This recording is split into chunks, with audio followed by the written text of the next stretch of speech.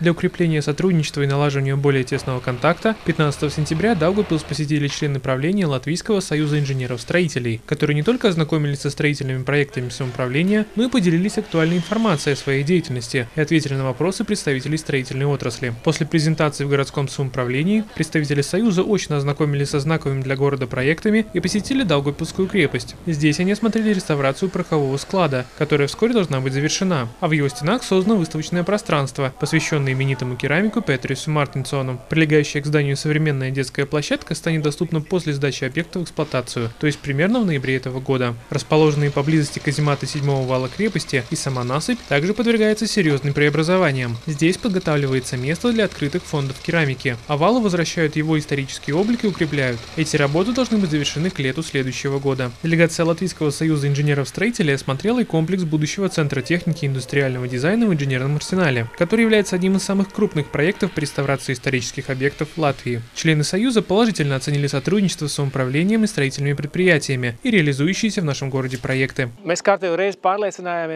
Мы в очередной раз убедились в том, что нанести визит сюда, в Даугапилс, очень приятно, радостно и полезно. Здесь работают очень отзывчивые люди. Можно видеть, что работа ведется усердно и на совесть, качественно. Нам, конечно же, приятно все это видеть, тем более, что в разных проектах задействованы наши представители, наши строительные инженеры. И, конечно, у нас большие планы по дальнейшему сотрудничеству. Внимание было уделено и променаду у Даугупилской крепости, работы на котором сейчас вышли на финишную прямую. Строителям нужно еще пару недель, после чего объект предстоит принять в эксплуатацию. Стоит отметить, что в другой части города, на променаде улицы Бругю, недавно начались работы по созданию смотровой площадки на базе старого водного резервуара. В ней будет вести установленная на свае пешеходная дорожка. Строители обязали закончить этот проект за 5 месяцев. Вместе с этим решается вопрос о возможном открытии пешеходной части променада в период меньшей строительной активности. Сюжет подготовил отдел общественных отношений и маркетинга Даугапилского самоуправления.